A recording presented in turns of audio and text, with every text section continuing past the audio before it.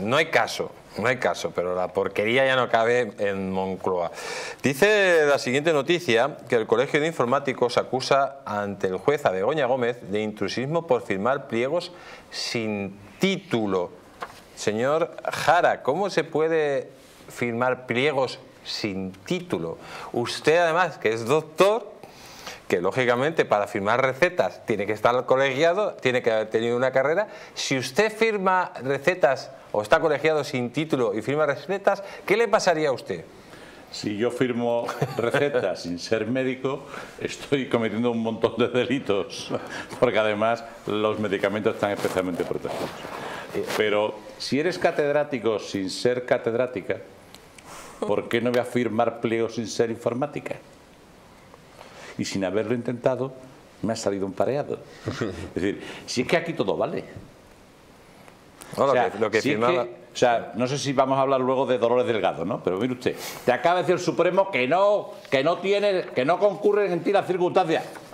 Otra vez nombrada. ¿Por qué? Porque si no es por lo civil, es por lo criminal. Entonces, si yo contrato a una persona de la calle para que me lleve la agenda, me haga los contactos, los chanchullos, lícitos o no, lo tengo que sacar de mi bolsillo. Será mejor que lo paguemos los españoles. ¿Se acuerdan del caso de la nani de los niños de Pablo y de Irene? De su gabinete, de la ex ministra de Igualdad, ahora eurodiputada perdiendo elecciones de 6 en 6. Es que eso es así. Es que no hay ningún respeto hacia el dinero público por parte de la izquierda española. Ninguno. Por parte de la derecha también es verdad que hay ciertas frivolidades, pero no viene al caso porque hoy toca, hoy toca Begoña Gate. Es así. Entonces, ¿qué está pasando? Que, todo vale, porque se han sentido en la impunidad absoluta. Y desgraciadamente para ellos, afortunadamente para los españoles, para nuestras libertades, para nuestra democracia, para nuestro futuro, sigue habiendo medios libres y periodistas con coraje, que se atreven a decir la verdad, como usted, don Jesús, y como otros muchos, gracias a Dios.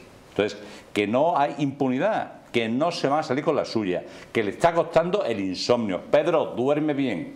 ¿Quieres Lesatín? Yo puedo, porque sí puedo firmar recetas, ¿sabes? Te mando una de Lesatines ¿eh? o lo que tú necesites. No, pero Pedro- Llámame, Pedro. A Pedro le dice lo mismo, me la firma las recetas mi mujer. No, que la firme Begoña. Me la firma Begoña directamente. Lo mismo te firmo un pliego con una receta que un pliego técnico Ah, para o- hacer una central o te, nuclear. o te firmo unos planos para un edificio. O, o Así- te, o te Exactamente. hace un- unos cuantos contratos. Lo que haga